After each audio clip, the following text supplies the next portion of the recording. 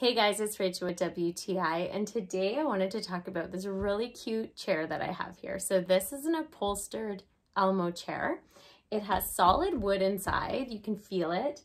And all of this chair is so scrunchy and soft, just like a teddy bear.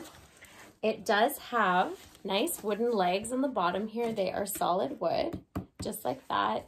It is upholstered nicely. You are able to unvelcro it here if you do have to clean it at all. And I do love how it has Elmo's cute, beautiful, fun face right here on the back of the chair. So kids just love this. It's got the nose that pops out here with the eyes his big smile. The color on this is beautiful and bright. And like I said, one of the great features is this chair is so soft and it's nice and solid as well, but has the nice cushion. Just perfect for infants, super fun.